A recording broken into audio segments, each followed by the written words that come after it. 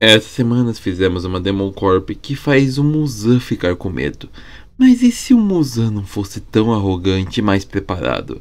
E se ele pensasse e se organizasse mais para acabar de uma vez por todas com os nossos queridos Hashiras? Hoje teremos o pesadelo da Demon Corp. Um Muzan sério, mais estrategista e que reconhecesse a ameaça que eram os Hashiras. E não achasse que todo mundo é só uma mini versão daquele que quase matou ele, que não faz nem força e não é nenhuma ameaça para ele. Hoje ele sentiria, depois daquele dia, ele encontrou Yorite, o medo e se prepararia para qualquer coisa. Ah, pra mim o Mozan estava mais preparado do que os próprios Hashiras. Ele tinha uma organização boa e um esquema legal. Só que a primeira coisa que mudaria pro nosso querido Musa ganhar seria que ele não ia só simplesmente matar os seus inferiores. Ele ia dar aquela bronca, aquele esporro. Se algum deles tentasse fugir, como rolou, simplesmente mataria, normal. Isso eu acho justo. Tentou fugir da responsabilidade, morre mesmo. Porém, nós temos o fator que eles ainda davam conta de personagens que não fossem nível Hashira. Por exemplo, o Tanjiro levou um sacode bonito, tá? Que o Tomioka venceu muito facilmente ele. Mas começar a andar ou juntar mais de um dos inferiores, eu acho que seria uma boa. Ou até dar mais sangue para eles. Deixaria as missões que os Sashiras teriam que ir, mesmo que fosse para enfrentar os Luas inferiores, muito mais difícil. O Muzan matou seis Onis mais ou menos fortes no nível de força intermediário apenas por matar. E isso acabou no final atrapalhando. Que imagine se esses seis Onis que foram mortos tivessem num castelo infinito cuidando e matando os figurantes. Na batalha final, onde tinha muita gente só se sacrificando pelo Sashira, a maioria dessa turma estaria morta, porque teríamos mais Onis fortes, não absurdamente fortes, mas forte para matar figurante. Então, vamos lá. Nós temos um universo hipotético onde nosso querido Muzan não matou seus luazinhas e agora deu mais sangue a eles. Nesse meio tempo ele poderia dar mais sangue também ao meu querido Duma. pessoal daqui do canal que acompanha os stories, vai nos eventos, tudo, ele tá acostumado e sabe que eu gosto muito do Doma, mas hoje eu vou falar dele num ponto de vista geral. O único que subiu tão rápido quanto o Doma são o Gyutaro e a Daki. Só que na minha opinião, isso vai muito mais pela mecânica para matar eles do que pela força deles porque eles ficaram forte absorvendo e matando vários Hashiras, porém, parem pra pensar. Você tem que ter um Hashira extremamente rápido, porque o Gyutaro é extremamente rápido. Mas o Doma, sozinho, ele já subiu muito rápido. Isso vai um pouco da sua dieta de se alimentar quase exclusivamente de mulheres. Agora imagina se ele tivesse ganhado mais sangue no Musa. Ele numa escala de velocidade e o rank que ele chegou foi muito mais rápido. O Akasa tá vivo há pelo menos 300 anos o ponto mais antes barra na história que a gente tem do Doma se passa 133 anos atrás. Então ele pode ter mais que isso, mas essa é parte da história dele. Então a gente tem um Uni com 200 anos que subiu pro posto de segundo lua e estava ainda crescendo em desenvolvimento. Isso, na minha opinião, é simplesmente porque ele é um potencial absurdo. Tanto que o Mozan não gostava do Doma, mas o Doma era o que mais tinha possibilidade de alcançar o Sol, na visão de do Musa. Por que não dá mais sangue pra esse cara? Sério, tipo, imagina se a gente bufasse mais o Doma. Provavelmente nisso ele alcançaria o posto de lua número 1, seria um dos luas mais fortes e um dos maiores potenciais do nosso querido Doma em combate.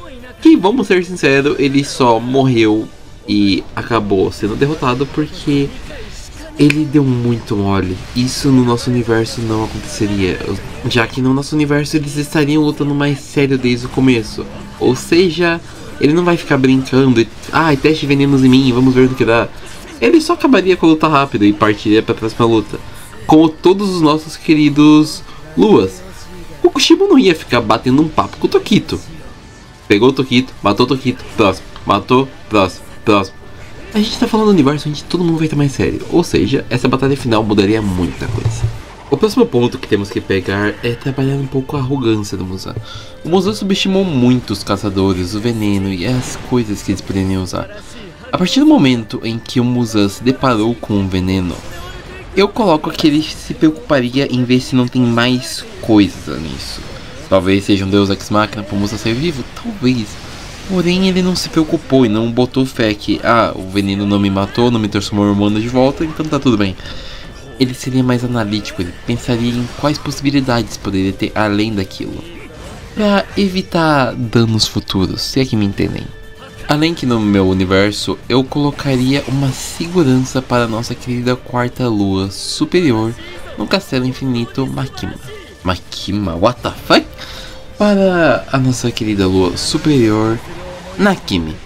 Sério, eu tenho um vídeo aqui no canal só explicando como essa lua é poderosa. O porém, ela não é para combate, ela não é uma lua que vai descer a porrada nos outros, ao contrário que nós temos de exemplo, o nosso querido Doma, o nosso querido Shibo, a casa. Ela é uma lua com uma habilidade muito útil, uma habilidade extremamente poderosa. Pode mandar você para onde ela quiser. Ela tem manipulação de espaço. Ou seja, ela é extremamente útil no combate, sem diretamente ir pro combate. Não é à toa que ela estava lidando com Obanai e a Mitsuri ao mesmo tempo, e só foi derrotada porque o Oni chegou próximo dela, ela achou que era um Oni aliado e não se preocupou em se defender. E caiu nesse problema. Mas e se a gente tivesse um ou dois Onis para proteger ela?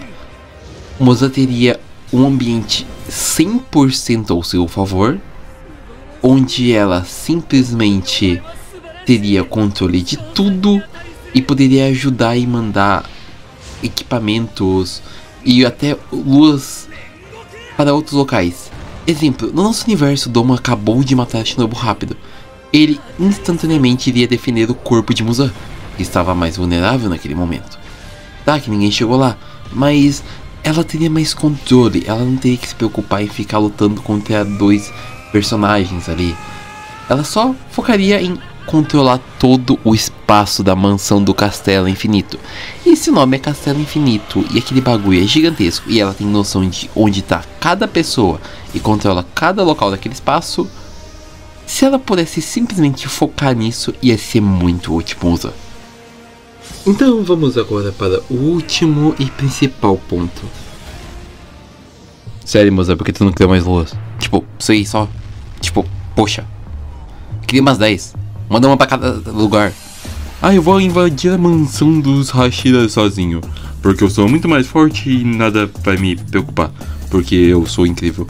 Caiu numa armadilha, caiu em duas armadilhas, caiu em três armadilhas e teve que meter o pé em retirada. E não conseguiu o que queria. Parabéns, parabéns, Suza. Você é um animal. No nosso universo, ele não atacaria sozinho. Se ele fosse atacar, ele ia com pelo menos 3 luas superior já pra ir causando estrago no caminho e já ir matando todo mundo que aparecer no caminho e ele chegando lá se espalhando. E simplesmente quebrando todo mundo na porrada antes de começar. Provavelmente rolaria explosão, alguns sairiam vivos e nem todo mundo morreria de cara. Porém, nesse nosso universo hipotético, pelo menos uma boa parte aí de base. Os figurantes mesmo, todos iam morrer naquela hora e ia ser bem mais fácil para a batalha final. E nesse universo, sendo mais fácil a batalha final, muitos tendo morrido, e o Musa sendo mais cauteloso, não cairia em tantas armadilhas, não levaria tanto veneno, não deixaria tanto personagem vivo, e no final mataria todos. Provavelmente Nezuko chegaria correndo, veria todos mortos, Top Tanjiro no chão, se transformando em Oni. Ele absorveria Nezuko, absorveria Tanjiro, dominaria o sol e dominaria o mundo. Muito mais fácil. Mas não, né? Tem que subestimar todo mundo, tem que subestimar. O menino parece o cara que te solou há mil anos atrás e tu vai sempre paro. Não, parabéns, Musa, você é um animal. Ponto. Se gostou do vídeo, deixa o like, compartilha e divulga ele para apoiar o canal. Eu fico muito feliz com isso.